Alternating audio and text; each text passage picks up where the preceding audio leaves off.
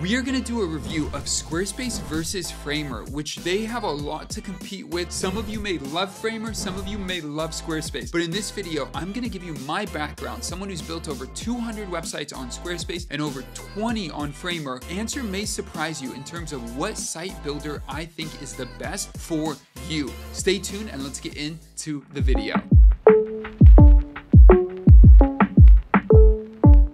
Basically what we're gonna do in this video is I'm gonna give you questions to answer as you go through the process, which will help you decide on which tool to use. So we'll probably cover around three to four core questions and things you wanna consider in terms of your needs that are gonna be really important in the site that you build. And we're gonna do this as we take a look at what Framer has on their site when they say versus Squarespace, the differences. We'll take a look here and really get an understanding and I'll tell you where they're telling the truth or lying about the differences here. All right, so they have this comparison on their website that we want to take a look at from design flexibility, speed, SEO, CMS, interactivity, collabs, publishing, pricing, all of that we're going to cover. All right, and if you're thinking about getting started on either platform, I have links down below with coupon codes for both tools to save you on your first year subscription.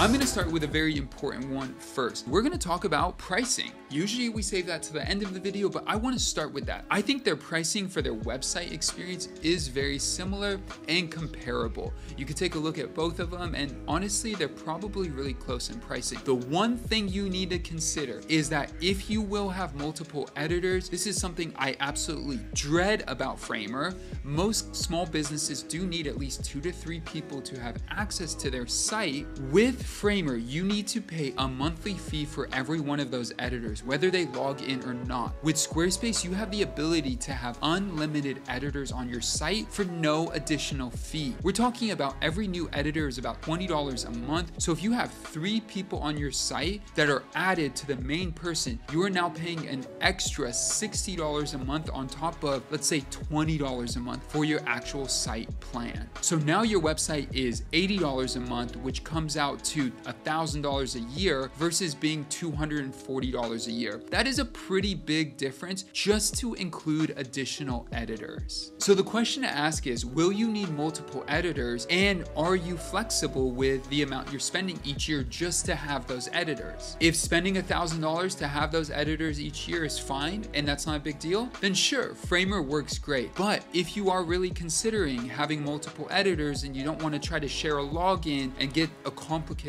But if you are considering having multiple editors and you don't want to pay that extra six to seven hundred dollars a year, it is worth considering Squarespace. The next thing we want to talk about, I think is just as important, which is going to be design. When you take a look at Framer's templates or Squarespace's templates, are you happy? Are you excited about your website? Now, I know if you look at both of them, you might see Framer and see a lot more interactivity that feels really delightful and something that is like, I really want that for my website, which I highly recommend. But you have to make a very clear decision how important that is. If that is monumental, Framer is going to be your go-to. When it comes to animations and that interactivity and just a beautiful experience, Framer is gonna have way more options for you versus Squarespace. Squarespace has some great basic options, but Framer is gonna give you every option under the sun. Now the con of this is that you have to build everything from scratch. You can use a template, you can use components, but you are really gonna have to do the hard work of understanding how frames work, stacks work, how you place items into a stack, how you then optimize it for mobile you got to do a lot of learning in that sense to be able to get what you want with Framer. It does offer more opportunity. And if that's what you're looking for, if you say, I really need design and interactivity to be very flexible, Framer is your way to go. On the flip side, if you look at Squarespace's templates and you're like, honestly, these are beautiful. Let me customize the color and the font and add my own content and I'll be really happy. Well, Squarespace is going to be a great option for you. So I do see here when they say what this means for you, build websites without restriction, no template constraints. Yes, that's true, but you also have to create everything from scratch.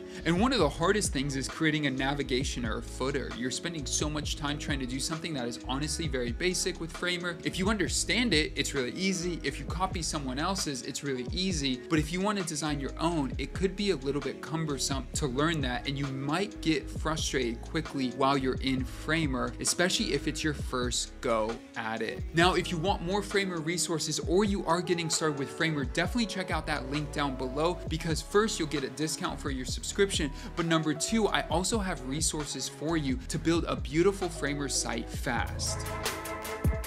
Now let's talk about speed and performance. As you can see on their website right here, they say optimize for core web vitals, where Squarespace can be slow, lack performance optimization, and so you'll have faster load times and better rankings. Let's take a look at this. Let's just start with something simple. So I went to PageSpeed Insights, added in Framer. You'll see here on mobile, they failed core web vitals on their own website, and desktop they did pass. Same thing with Squarespace here, they did fail on their mobile and they did pass on desktop As I take a look here, 1.2, 59 milliseconds, 0, 1.1, and 0.7, those are really good numbers. And honestly, these are very comparable. I don't see a lot of difference here. Now, let's take a look a little bit deeper. Now we're back on Framer side for desktop, and you'll see performance is 80, accessibility 95, best practice 96, and SEO 85. These are really good for a website builder out of the box. Squarespace here a little bit lower, 72 here. Accessibility is 100. Best practices is 70, but SEO is 92 right here. Again, we could have a bigger conversation about like, what do these numbers even mean? But generally, you'll see they are kind of comparable. And I know I'm looking at their home pages, so the way I would test this is if you're about to buy a template on Framer or use a template with Squarespace, go use that URL and drop it into here and see how it performs. This to me is not the make or break. Now, they make it seem here as if it is way better, but the reality reality is this. The one thing that Framer has over Squarespace is gonna be Core Web Vitals. Core Web Vitals are really important for SEO, and so if you are trying to optimize at a high level for SEO, which means if people are gonna search things outside of your brand name, say you are a graphic designer and you use your name, for example, David Alex. If people are gonna be searching for general graphic designers and they're gonna be looking for work like yours without knowing your name and you wanna show up for search, then this is gonna be more important. But if all you're trying to optimize for is your brand name as a core fundamental, Squarespace or Framer are gonna do great. So the question is here, if you are trying to show up for a lot of organic search, Framer is gonna be a lot better for you long-term than Squarespace. They both work great. I've done a ton of SEO projects on Squarespace, but if you're really gonna get into the nitty gritty, especially if you are launching a blog, Framer is gonna be a much better option for you. Which leads us to the next question, which is gonna be around the CMS. All right, this is a big thing. It's really important to talk about, and it is very different on both platforms. When it comes to a CMS, a CMS is a content management system. This could be for your portfolio, this could be for your blog, anything that manages content in a structured way that has certain properties that go against every single item in that database. So for example, blog has a title, it has an author, it has a blog post content, it has a header image, it may potentially have like tags and other things. All those elements are part of a CMS. And so with Squarespace, you have no way to customize the CMS. With Framer, you could build any type of CMS you want from scratch. Now, this is really important and valuable if, let's say, you have your portfolio that you want to show off a very specific way. So, for example, if you have a portfolio and you're going to have a project title, and you're gonna have a project date, and you're gonna have certain project details, the three emotions that go with the project. Then you're gonna have a header image and a header video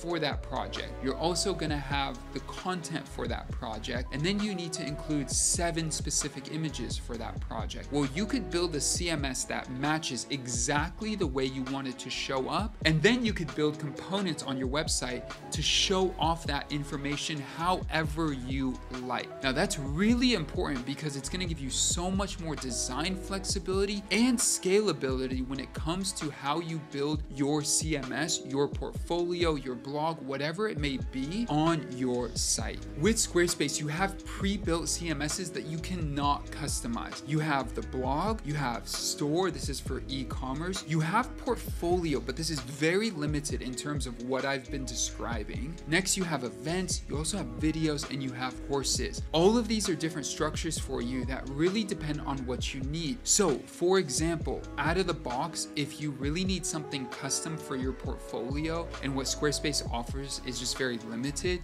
you may be better off on Framer. But let's say you want to build out courses and you don't want to overthink all the steps of trying to build out every single component for a course. Squarespace has it pre-built for you. You don't get that in Framer. You have to think through every aspect of building out a course, how you have interactivity between every page and video and an element on that course to go to the next lesson or whatever that might be. Where here, it's already pre-built for you. So it really depends on what you're looking for. Now, with all of this said, you may begin to really see the differences. With Framer, everything is from scratch. And so you do get a lot more control, but you do have to build everything from the ground up. With Squarespace, you have a lot of stuff that is pre-built. If you want to end up customizing it, you may need to write custom code, or you may just be limited to what they give you out of the box. So yes, when I look at this chart here, the fully integrated visual CMS is a much better experience if you want to go custom. Next, if you are big on animations, which honestly animations and interaction is huge on a website in 2025, you will want to go with Framer. Hands down, there's no question about it. Framer is excellent when it comes to animations and effects, where Squarespace has no ability to do anything cool when it comes to animation. They got like five presets that are okay, but they go across your whole website and they just feel kind of generic in terms of the experience. I know they're thinking about adding some stuff, but as of right now when I film this video, Framer beats it by far, no questions asked. And if that is important to you, you already know your answer.